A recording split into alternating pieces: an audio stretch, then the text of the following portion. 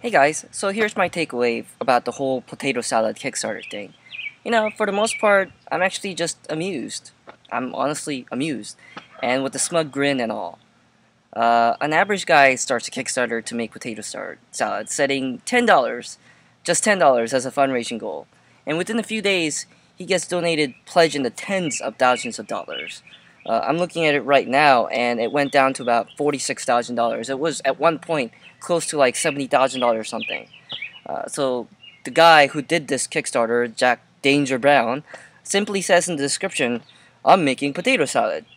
He doesn't sound too confident since in the risks and challenges section, he simply states, it might not be that good, it's my first potato salad.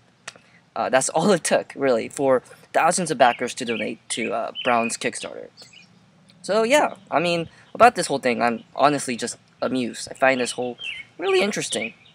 Now, I've read some tweets and comments about this whole thing, uh, you know, lamenting how something like this could receive so much fundraising while there's there's so many other actually innovative and creative projects that often fail to raise enough funds. Uh, you know, I'm in the nonprofit realm of things a lot, so people in the nonprofit industry are.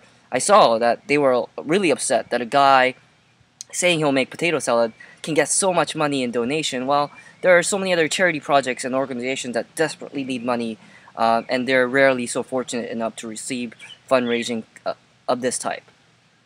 Never mind that Kickstarter doesn't do charity, it you know they, they, they make a point that it doesn't seem fair. But I don't know. I'm honestly not that bothered by this one-time phenomenon. And that's all it really is, a one-time social phenomenon. There, there are now so many other people trying to replicate the success.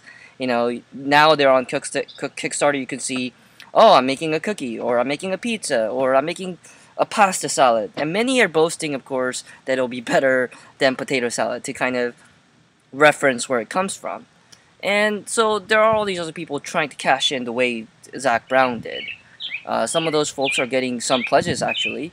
But it's pretty clear at this point that they won't make the news for raising tens of thousands of dollars. I think the most anyone is going to make is, is $100, which is still a lot for cookies or pizza on Kickstarter, right? So, the thing is, the joke has been made uh, once with this whole thing, and we all laughed at this once, and it's really no longer classy for other people to make the same joke. It's not funny anymore. Uh, so it's, it's over and done with, you know, and as a graduate student and majoring in social work, you know, the lesson I take from this event is that people appeal to simple honesty. Zack Brown simply wrote that he wanted to make potato salad and that he would need $10 to do so. He warned that this was the first time he was making potato salad. It's really hard to find any higher sort of expectations on the Kickstarter page. When he started uh, receiving a lot of money, he played along by actually uh, setting, adding some comical stretch goals. And that only encouraged even more people to give money. There were no wild promises, no marketing talk, heck, not even a YouTube video explaining why it was a good idea to pledge and invest. It's like Brown didn't even care whether people gave money or not. And the people responded to this apathetic presentation by chuckling and donating some money. So, in a way, I think this is this whole thing is a pushback to all the negative news stories about Kickstarter gone bad in which a highly anticipated project received millions of dollars in crowdfunding but failed to deliver properly. You know, when some Kickstarter funded projects did arrive, there wasn't much of a fanfare, like what happened with Ouya. What made even bigger news was kind of things like story of uh, Facebook buying Oculus Rift. That was a project that thousands of people pledged a lot of money into.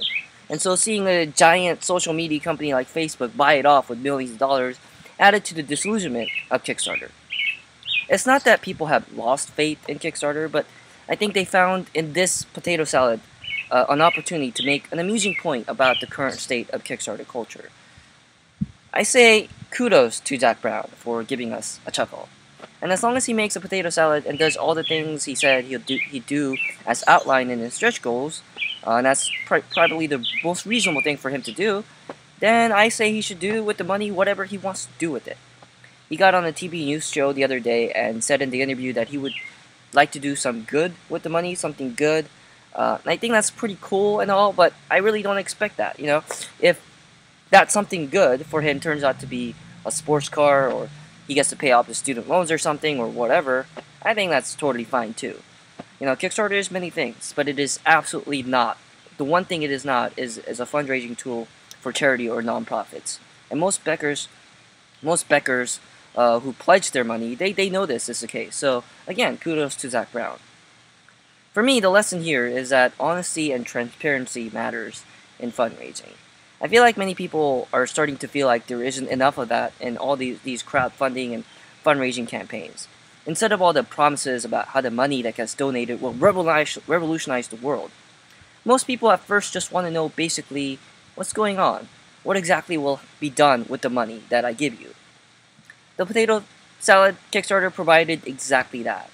He was a guy who needed $10 to make a potato salad, and it was going to be his first potato salad ever you know, that was it. Is he actually going to use tens of thousands of dollars to make a potato salad? Will any of the Beck Beckers actually get potato salad? Who knows? And most likely not. But ultimately, the important thing is that his project felt authentic. I think one bad thing to come out of this is that it's had the effect of increasing distrust of fundraising, especially of crowdfunding. Hopefully, all the co copycats will quit soon, but in the meantime, it's now even harder to distinguish between awesome projects we should invest into and donate to, and the fundraising scams that might as well be a cash black hole. The irony, I suppose, is that as people found appealing the authenticity of Potato Salad Kickstarter, it is now even harder to determine what is authentic and what is not authentic fundraising. So, that's my takeaway. Hope you guys enjoyed. Cheers.